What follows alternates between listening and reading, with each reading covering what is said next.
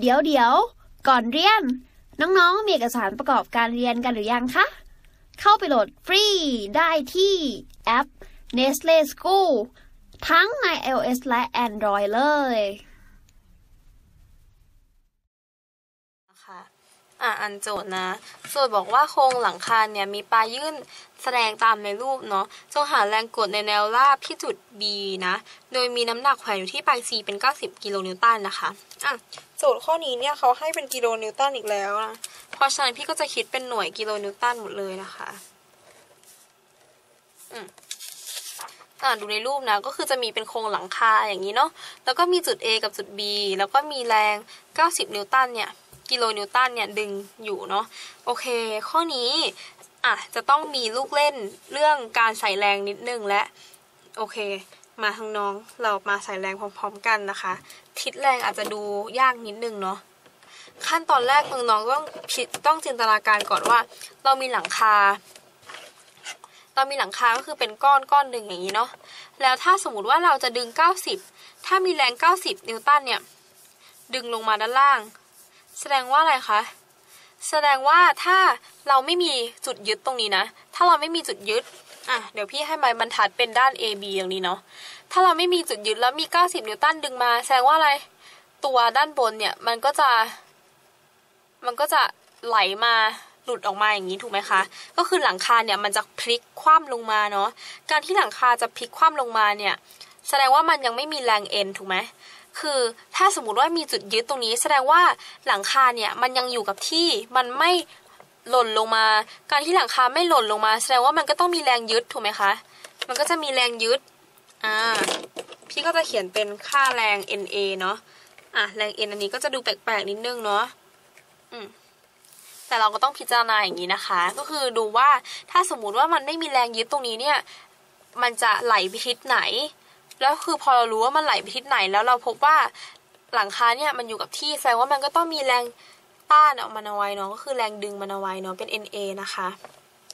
โอเค ที่ลองพิจารณาต่อพิจารณาต่อ เนื่องจากวัตถุนี้เนี่ยอยู่ในสภาพสมดุล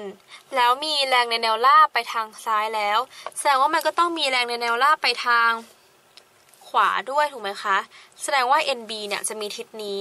สังเกตนะคะว่า NA กับ NB ตอนตอนนี้เนี่ยจะมีทิศไม่ตรงกันแล้วนะ โอเคนะ มีทิศไม่ไม่เหมือนกันแล้วนะคะอะ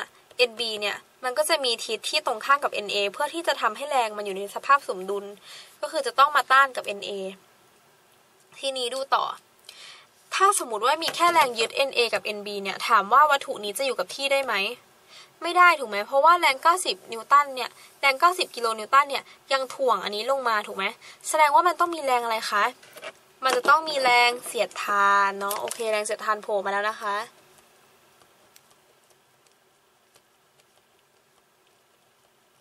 แสดงว่ามันจะต้องมีแรงเสียดทานต้านเนาะ แล้วต้านในทิศไหนก็ต้องต้านในทิศขึ้นนะคะ อะ เพราะฉะนั้นมันก็จะมีแรงเสียดทานต้านที่จุด B ก็คือ FB แล้วก็จะมีแรงเสียดทานต้านที่จุด A เป็น FA เนาะโอเค แสดงว่าเราใส่แรงครบหมดแล้วนะคะ เพราะว่าโจทย์ข้อนี้เขาไม่ได้ให้เราพิจารณามวลของหลังคาเนาะโอเค แสดงว่าเราได้หมดแล้วนะคะ ก็จะมีแรง NB NA FA FB แล้วก็มี 90กิโลนิวตันเนาะ อะ ทีนี้เพราะฉะนั้นนะคะ สิ่งที่พี่อยากให้น้องๆเน้นก็คือ ที่จุดมุม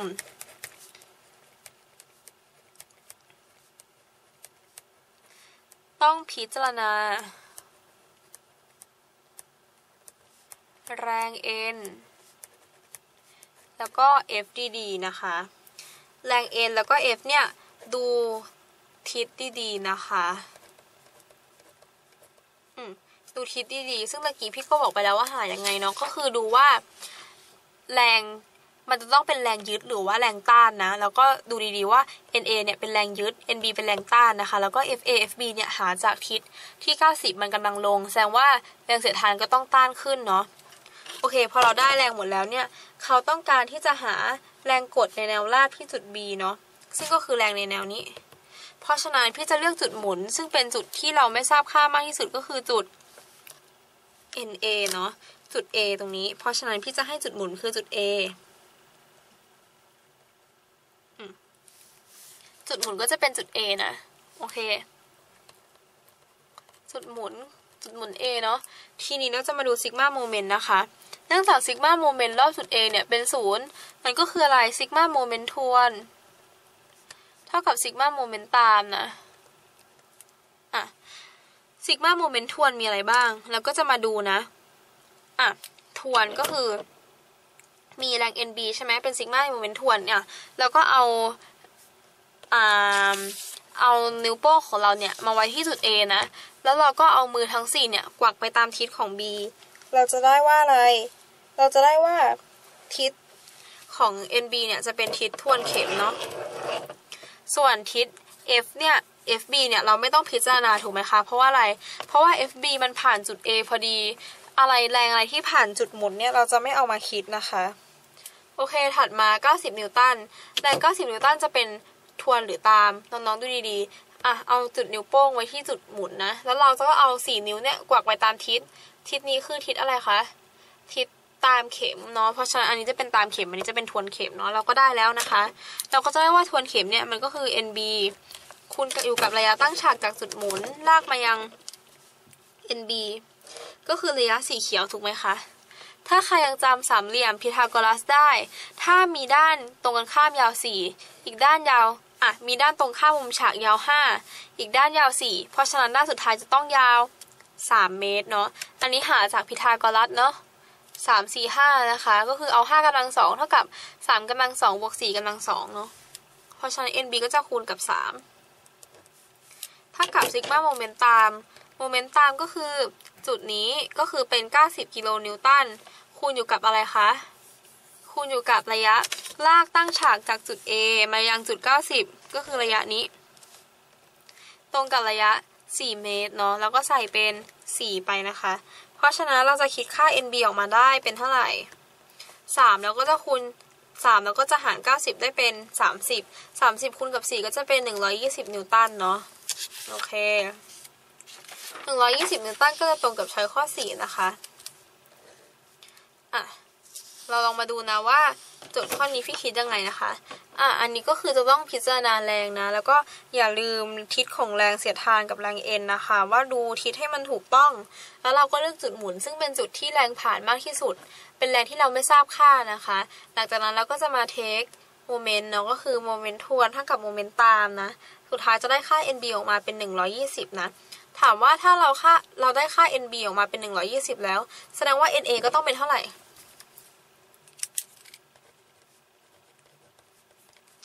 NA ก็ต้องเป็น 120 นิวตันด้วยถูกไหม เพราะว่าอะไร เราหาจากซิกมา fx เป็น 0 เนาะ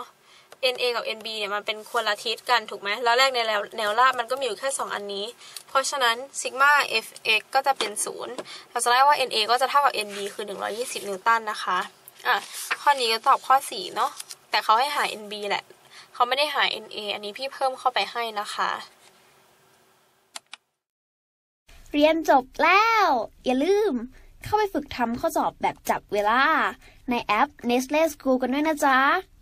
ถ้าน้องๆมีคำถามสงสัย ไม่เข้าใจตรงไหน ถามว่าในแอปได้เลย แล้วพี่ๆจะรีบเข้าไปตอบให้นะคะ รักใครชอบใครอย่าลืมแชร์คลิปนี้ไปให้สักคนนะคะของลบเสร็จทั้งหมดกำลังให้เห็นปะข้อสองไปตอบสามเห็นปะแค่เข้าใจนิยามของเลขกำลัง